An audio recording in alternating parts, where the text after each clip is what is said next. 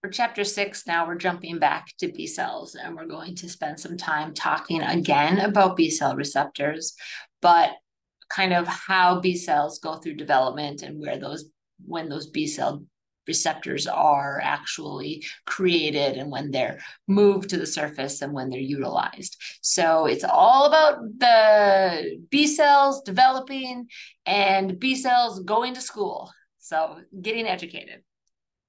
Um, let's go ahead then and just take a few minutes to talk about the big picture ideas from this chapter. First of all, we've mentioned that people have the capacity or the potential uh, to make really a limitless number of antibodies. I mean, there is a limit, but the number is so high that it really is limitless.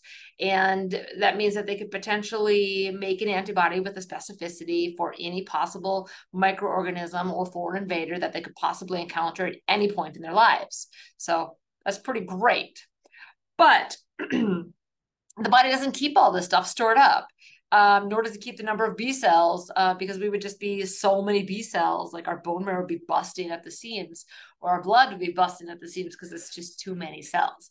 So rather than to keep this stockpile of all of these different B cells, the body carries a much smaller inventory of B cells, but an inventory that can expand and grow upon needed. And so we're going to talk a lot about clonal expansion of the B cells to make enough antibody to fight off infection, um, depending on whatever pathogen or foreign invader we come into contact with.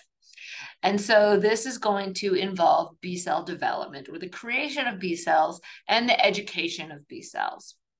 And so there's going to be six phases that we're going to cover in chapter six. The first three phases are going to be um, prior to being exposed to pathogen and um, and and making their B cell receptors, exporting their B cell receptors, learning and testing uh, their B cell receptors against different types of proteins. And so those are all going to occur um, uh, in the bone marrow where the last three phases, four, five, and six, are going to be once a B cell is ready to go out and fight the good fight. And so those are going to happen out in peripheral circulation and then in the lymph nodes eventually, um, and then back to the bone marrow. So we're going to break this lecture up then into three lectures after this one. The first one will cover phase one by itself because it's so big and lots of stuff happens in it.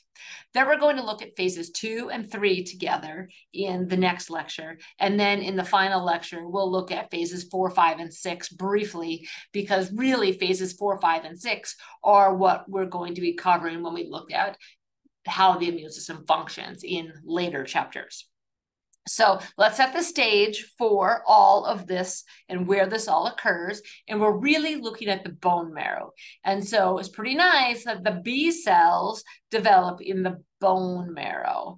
Um, and once they've been um, created and they've been tested and educated, then they go out to secondary lymphoid tissue and peripheral circulation.